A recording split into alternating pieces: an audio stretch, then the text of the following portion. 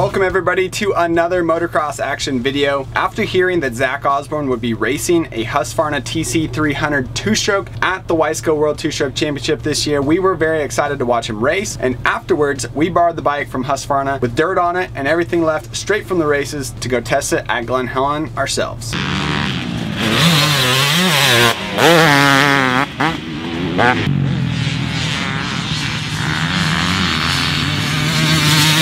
Starting off with the aesthetics on this bike, Husqvarna went vintage for Zach's two-stroke to make it look like the Huskies from the 60s, 70s, and 80s. The entire engine, the carburetor, the FMF pipe and silencer, the Kickstarter, the rear brake pedal, and the stock engine mounts were all Cerakoted black. Then the frame, it was painted silver, and the white Husqvarna shrouds were brought to Troy Lee himself to actually get painted cherry red, and then Decal Works finished it off with the graphics. Although this two-stroke wasn't built by the factory Rockstar Husky Husky team, it did have an extensive list of factory parts and we want to list them off for you right here.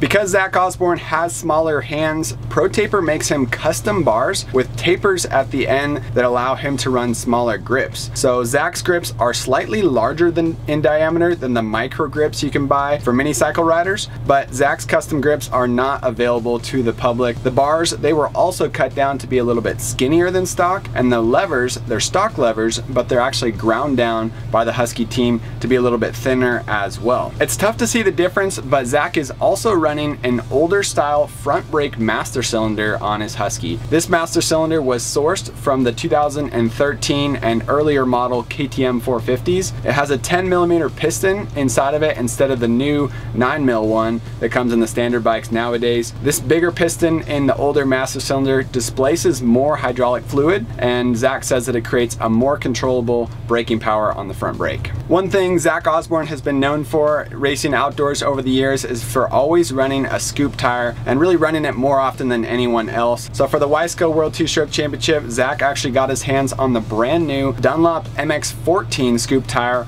over two months before Dunlop even announced to us that they had a new tire coming out. We got to ride it on Zach's bike a while ago. So that's pretty cool. They also had a Husqvarna Power Parts 300cc cylinder kit inside of the engine on this bike. So it started out as a Husqvarna TC 252 stroke, but it was big board with that cylinder kit that you can buy through KTM dealers, Husky dealers as well. Factory services, the engine department for KTM, Husqvarna and Gas Gas, they built out the engine on this two stroke and Billy Henderson, he was the tech on this project. He wouldn't explain to us what he did to the engine, but by looking at the engine from the outside, you can tell by the two mil spacer that's underneath the cylinder that he long it. We also suspect that he probably bored out the Mikuni carburetor as well to give this bike some more over rev power. Guts Racing provided an extremely cut down version of their Phantom lightweight seat foam and they installed their plated gripper seat cover and bump on it to keep Zach on the bike. Besides the factory parts and the custom pieces that we just mentioned, there's also a hefty list of Husqvarna power parts items that Zach ran on his bike that you can actually buy. So that's the list of things you can't buy. Now let's get into the list of things that you can buy. Zach used WP XACT Pro cone valve forks and they also used the XACT Pro track shock from WP with the standard height. He didn't use the lowered height that comes standard on Husqvarna two strokes and four strokes. The Brembo brakes that he used on this bike, they used to be factory for KTM and Husqvarna, but now the factory teams have a newer brake and these are now available to the public also through the Power Parts catalog. WUSA, they assembled the wheels with silver Excel Takasago rims, black Haan hubs, WUSA spokes, and WUSA sprocket bolts as well. The carbon fiber rear brake caliper and rotor guards, they can also be found in the Power Parts catalog, and the internals of the Husky clutch are stock, but they added a Rekluse clutch cover, and Zach used the Power Parts hole shot device from KTM and Husqvarna, and that thing was set super low.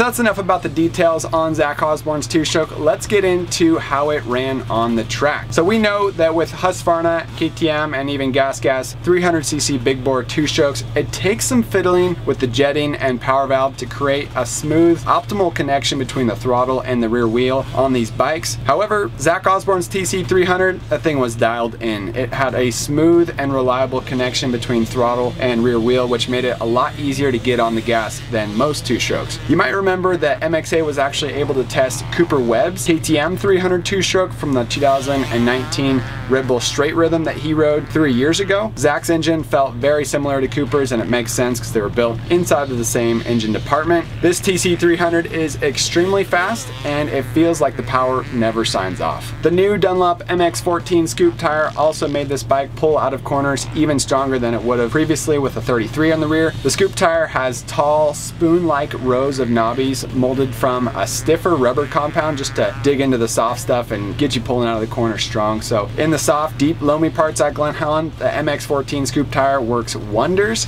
And personally, I really like scoop tires a lot and I know that it helped Zach Osborne out on the start for the race, helped him get a second place start in the first moto and a whole shot in the second moto. But with the TC300 already being such a fast motorcycle and Glen Helen having such a hard base to it with a lot of hard pack sections on that track, this tire was a little bit too much for it at Glen Helen. Talking about the cockpit and how Zach's bike was feeling for our test riders, I got to ride it and we had a few other guys hop on this thing as well. It was definitely weird. I usually don't mind a lowered seat foam, but Husky cut that gut seat foam out so much that it felt like you were riding on the subframe in the front and the middle of the seat. The rear part of the seat, yeah, you had a little bit of foam there, but the front, I felt like they got rid of almost all of that gut seat foam. Smaller diameter, custom Pro Taper grips were nice, but the cut down handlebars were a little bit weird for us to get used to, at least taller guys like me. As is the case on most factory bikes, Zach Osborne's two-stroke was very stiff in the suspension department. The suspension, it starts out plush on top, but it ramps up super quickly to provide a strong holdup. If you ride it at an average pace of a regular weekend warrior or somebody who races intermediate class, it's definitely way, way too stiff and this suspension will beat you up. If you're a pro who can hang out there and go wide open on this thing, you'll love Zach Osborne's suspension, at least until you get tired, because then it gets too stiff again. Talking about the brakes, the stock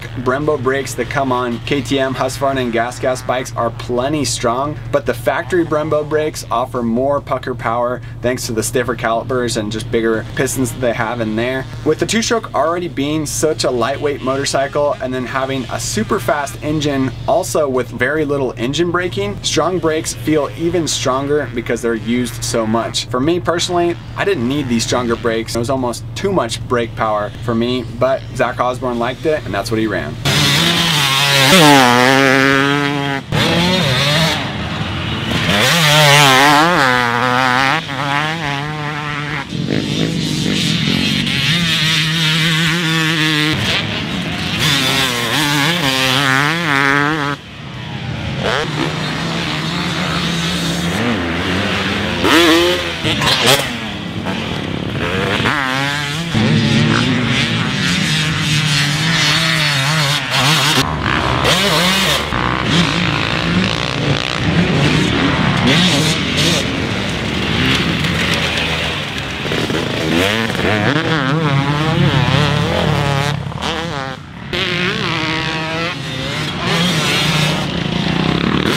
In the end, the MXA test riders concluded that Zach Osborne's Husqvarna TC300 was too fast for mortal men. It takes serious stamina and skill to hold on to a big bore 300 two-stroke when going wide open for a 20 minute moto on a rough Glen Helen track. We liked this bike. It thought it was super fun to ride for a few laps, but none of us could hold on to it for what needed to be a 20 minute moto at Glen Helen. The suspension was awesome when you were going wide open, but it beat you up as soon as you stopped going 100% around the whole track. Unfortunately, for Zach Osborne, he wasn't in tip-top race shape when he came to race the World Two-Stroke Championship at Glen Helen. He was up front on the start in both motos, but ultimately finished ninth place in Moto 1 and in Moto 2. Obviously, Zach Osborne isn't in full-time training anymore, and he was still dealing with the same lingering back injury that caused him to retire early last year. So Zach Osborne is the 450 national champion from 2020. That same Zach Osborne didn't show up to Glen Helen for this two-stroke race, but he didn't make any excuses, and we sure do hope to see Zach Osborne back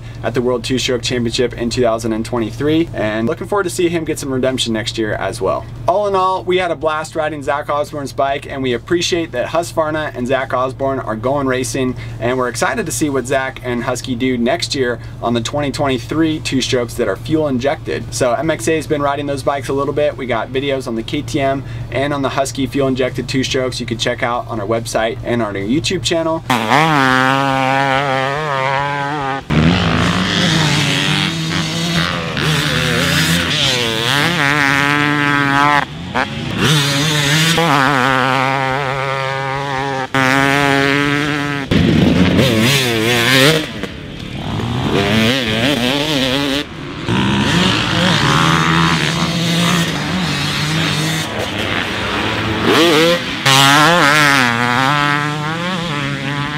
For more of what the MXA Wrecking Crew is up to, subscribe to us on our YouTube channel and hit the bell button to get notifications when we release new videos. Thanks for tuning in. See you next time.